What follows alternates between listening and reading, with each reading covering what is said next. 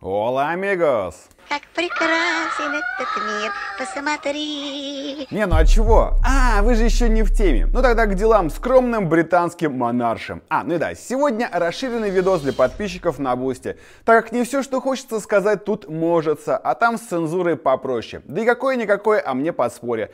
Подписка от 100 рублей, чашка кофе, шоколадка или клетка яиц. А, с яйцами сейчас сложнее. Э, все ссылки в описании. Так вот, все же в теме, что Чарльз Третий в больничку заехал. Ну там концепция сложна и непонятна. То ли общий вектор движения Британии сказался, то ли со здоровьем что. Но если отталкиваться от политкорректных заголовков, то было решено провести интимную операцию. Но, собственно, и результат снова в прессе. Гарант и защитник британского королевства Чарльз III, он же Карл III, будет отстранен от управления угодьями своими на месяц, на срок необходимый для реабилитации. И про интимную операцию я понял, а вот чем дело-то закончилось не совсем. Ну, просветили бы хитрецы. Но там все еще вот э, «Боже, храни короля» или по старинке, как последние лет 70. Э, будем ждать подробностей. Единственное, что известно, что на его призыв последовать примеру откликнулось народу столько, что на сайте Национальной службы здравоохранения запросы «Хотим как у Чарльза» фиксируются каждые 5 секунд. А в Штатах тем временем технологии дополненной реальности брали новые высоты. Ну, вроде как. И нет, я не про имплантацию чипа от Илона Маска прям в мозг.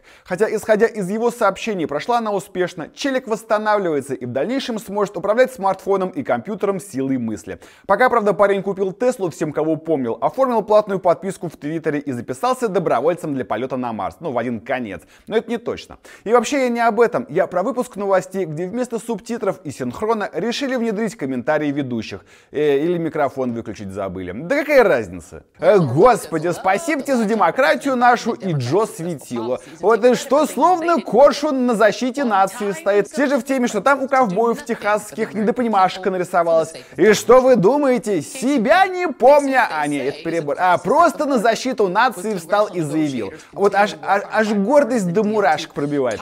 Сказал, значит, что готов принять незамедлительные меры, если Конгресс поддержит и бабла за океан на юга отслюняют. И вот тогда границы наши защитит. Если бы республиканцы в колеса не ставили палки, я бы уже вчера все вопросы вопросы за границей порешал. Я бы вот все закрыл и всех выкинул. Ядрить, этот кадр сейчас прям в Штатах очередной замес устроит. Подруге, правда, потом извиняться пришлось. Ну, типа, это было другое, это вырвано из контекста и понимать надо. А она нет сказать хотела. На незнание языка на должном уровне посетовала. В общем, сердечно и глубоко извинилась. И насколько глубоко не уточняется. Посмотрим, будут ли еще эфиры. Э, пока сказать сложно. Но там еще до кучи вот э, по Африке Кариночка забавный речь толкала. Но это только для подписчиков подписчиков на Бусти тут, увы, никак. Свободы слова не позволяют. А помните это в скрижалях выбитое? Разделяй и властвуй. Не, не это. Не можешь победить, возглавь. Во. Но там это и к войнам, и к топам, и к безобразиям относилось. Фразочку эту и Бисмарку, Суворову и Макиавелли приписывали. Но так следите за обновлениями. Теперь в разряд цитируемых Фемки Халсема ворвалась. Мэр Амстердама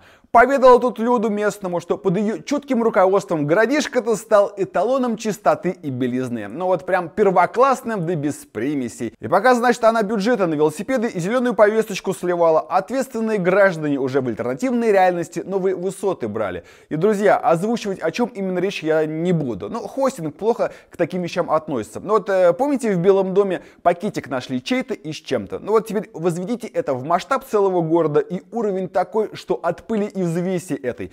Полиция, накрывая притоны, уже с порога забывала, зачем она туда пришла и кто они такие вообще. Ну вот и поделилась тетя мыслями, что их драконовские методы в борьбе со всей этой гадостью плоды не приносят. Криминализации, сроки, суды и нетерпимость. И самое важное, забота о здоровье граждан и поколений не помогали. А уж э, сколько на эту борьбу бабла уходило, мам не горюй. А толку ноль. И вообще вся эта затея, по словам мэра и дословно, порочно и контрпродуктивно. А до кучи еще вот финансовой сложности и кризисы разные. А значит что? Правильно. Тот, кто нам мешает, тот нам поможет.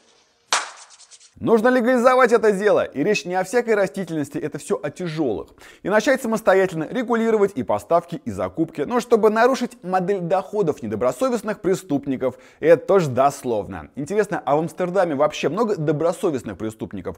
А добросовестные это вообще какие? И вот тогда будет там счастье. Все под чутким руководством государства с акцизными марочками, сертификатами качества и указанием точного состава. И только так Амстердам сможет искоренить преступность и все, что с ней связано связано. Также, с учетом того, что, опять же, по ее словам, уровень продаж и отмывания бабла там такой, что Амстердам чуть ли не европейской столицей считается, то и доходы в бюджет будут баснословными. И город не только своих пенсионеров и социалку обеспечить сможет, но и пол Евросоюза. А что вот по поводу вреда здоровья от инициатив таких? Ну так, друзья, не торопитесь, ну что вы, ну, новости от голландских ученых публикуются по пятницам или по четвергам. А, не, по четвергам от британских. Отличного дня. Пока.